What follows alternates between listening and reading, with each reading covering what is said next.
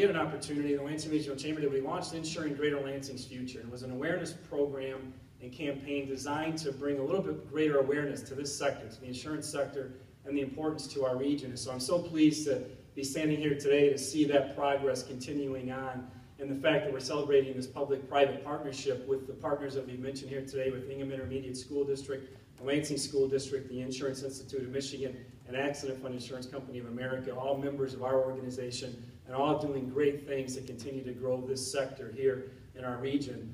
And especially addressing that issue of education and talent. You, have heard the, the pending job shortage, the retirement, and whatnot, and we certainly know that for this sector to continue to grow in our region, it's going to start with talent.